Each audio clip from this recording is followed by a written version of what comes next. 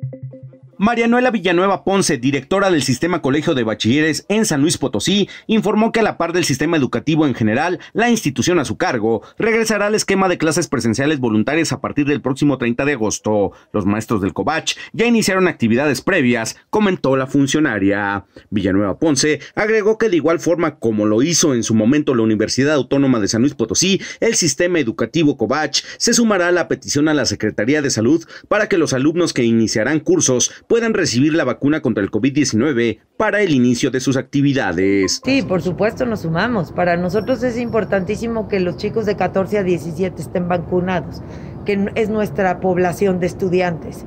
Entonces nos sumamos al llamado y haremos lo propio.